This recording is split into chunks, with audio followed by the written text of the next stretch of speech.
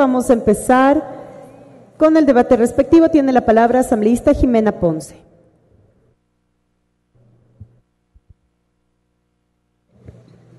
Buenos días, compañeras, compañeros. Pediría por favor que me ayuden con una presentación.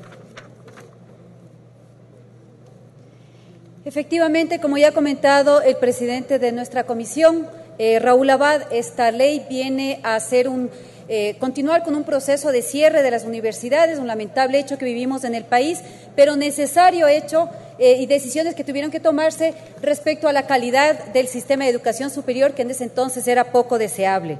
Y esto me parece importante para la ciudadanía que nos escucha, para los y las asambleístas presentes.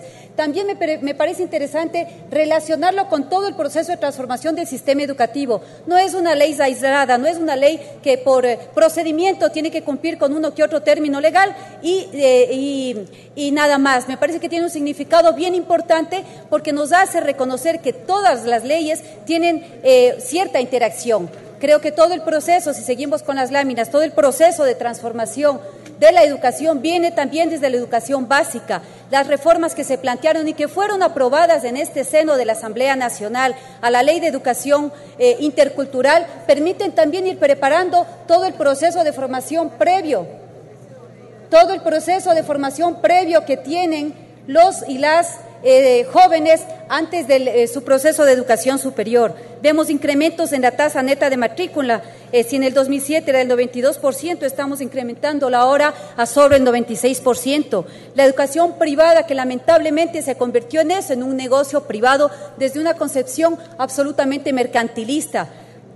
Los grupos humanos que han sido usualmente relegados, indígenas, afroecuatorianos, que tenían muchas menos oportunidades para poder ingresar al sistema educativo. Los jóvenes de estratos pobres que no soñaban ni siquiera con entrar a la educación básica, mucho menos a la educación pública. Y en la educación superior, pues grandes pasos también se han venido dando, no solo desde la aprobación de la Ley Orgánica de Educación Superior, sino también desde la misma Asamblea Constituyente, cuando se inició ya la evaluación de la calidad de la educación y de las instituciones de educación superior. En ese sentido, vale la pena señalar, por ejemplo, que em, el sistema de educación superior ha, ha merecido una inversión de casi cerca hasta el 2015 9.500 millones de dólares correspondientes al 2.12% del Producto Interno Bruto. Esto da cuenta de la importancia que se está dando, esto da cuenta de a dónde va el destino de los fondos públicos y cuáles son las decisiones que este proyecto de revolución ciudadana van tomando en la gente. Es ahí donde se está invirtiendo, es ahí para donde va el presupuesto público. Parte del mejoramiento de la calidad del sistema educativo eh, de, educación superior tiene que ver con la planta docente de las universidades y escuelas politécnicas que creció en 4.000 docentes, 4.000 profesores y profesoras universitarios que además eh, van también incrementando no solo en números, sino también en calidad, porque ya van con la cualificación de maestrías o de doctorados, con lo cual se puede pues estar pensando en que la universidad realmente va a pasar por estos procesos de Em, de investigación, de consolidar procesos de investigación, de docencia y de la relación con la comunidad. Y quisiera también atar, si este es lo parte del objetivo de mi presentación y de mi ponencia, es la de atar esta cierre de las universidades y toda la discusión que hacemos desde la Comisión de Educación, Cultura, Ciencia y Tecnología al próximo paso que tiene que ver con el Código Ingenios, en donde se habla de la estructuración de un sistema, eh, de un sistema de de educación universitaria, de un sistema de innovación, de un sistema de generación de creatividad y de economía, de sustento para la base eh, de la economía social del conocimiento. Aquí me parece importante relevar que si no tenemos un sistema universitario fuerte, mal tendríamos entonces como resultante un sistema de generación de la innovación también fuerte y estructurado. Por eso la importancia de avanzar en este tipo de leyes articulándolas las, a las restantes. Ya el compañero presidente de la comisión señalaba algunos de los costos de esta mala educación de estas universidades que lamentablemente entregaban algo que no habían ni siquiera ofrecido, sino que entregaban eh, eh, mediocridad a toda la sociedad ecuatoriana.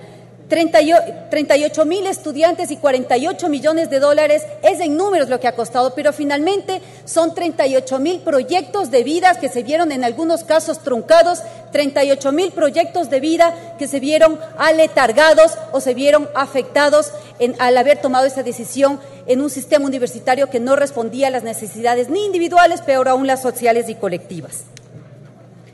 Las instituciones de educación superior suspendidas corresponden 13 a creación por ley y una a creación por decreto, por tanto se están derogando las 13 leyes que crearon aquellas que así que pasaron por el proceso del Congreso en ese entonces. Pero quisiera hacer también algunos aportes al, al informe eh, definitivamente el informe lo aprobamos en la comisión una vez que se ha socializado, que a través de los sitios web y de, los, eh, de sistemas virtuales. Se ha entregado este informe a los diferentes actores de la sociedad, hemos tenido también preocupaciones, sobre todo en lo que tiene que ver con la constitución del fideicomiso. Creo que debe quedar absolutamente claro que el fideicomiso viene a ser un instrumento de este proceso de cierre, no viene a ser el cierre en sí mismo, la entidad encargada del cierre. Para eso existe el Consejo de Educación Superior, que tiene todas las potestades para la relación con las universidades, y el fideicomiso viene a ser este administrador de bienes, de recursos, que eh, eh, de acuerdo a la ley irá determinando cómo es su, entrega.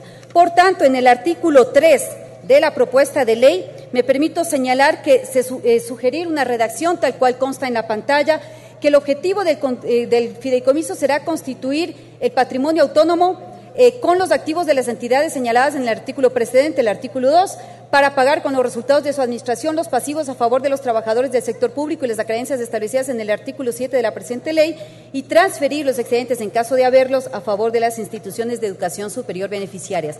Dejar con más claridad el funcionamiento del fideicomiso en su responsabilidad de administrar recursos únicamente.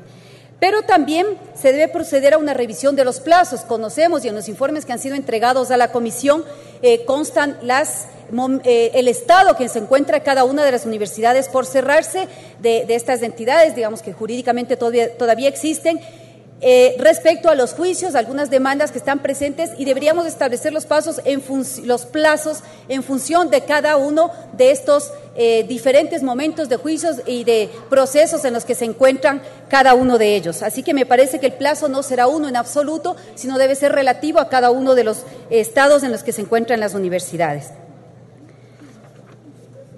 Eh, sobre el monto máximo de las acreencias que está en el artículo número 8, se señala que el fideicomiso pagará a las acreencias a favor de personas naturales, jurídicas, públicas y particulares por un máximo de 150 salarios básicos unificados. Aquí hay que hacer, dejar claramente que a personas naturales se establece ese, pago, eh, pero a excepción de las acreencias en favor de las entidades del sector público. Me parece necesaria esa aclaración, de tal manera que los saldos para la institucionalidad pública pues se los cubran con el, fondo y los recursos que contarán, estarán eh, reunidos en este fideicomiso.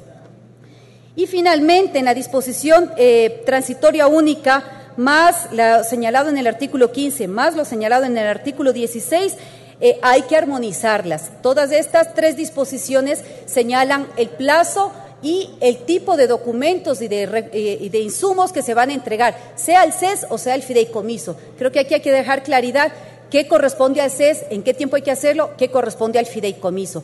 Esa armonización nada más me parece que hay que hacerla en esta última, eh, dos artículos últimos de la disposición transitoria. Con esos aportes espero entonces que en el transcurso de las siguientes eh, semanas podamos entonces seguir a través también de sus comentarios y observaciones, seguir aportando y construyendo de mejor manera esta ley tan necesaria que da cuenta de un momento eh, oscuro, que da cuenta de un momento triste, pero finalmente también que ha tenido un final exitoso para aquellos chicos y chicas que vieron finalmente su destino eh, recogido en las universidades del sector público. Vale la pena señalar que el 70% de las personas que estuvieron, de los jóvenes que estuvieron en estas universidades cerradas, fueron recogidos o fueron encausados hacia universidades de categoría A y de categoría B. Esto da cuenta también que su nivel académico elevó. Y ese yo creo que es el tipo de decisiones que nos permiten decir que aquí estamos construyendo una sociedad del conocimiento. Muchas gracias. Gracias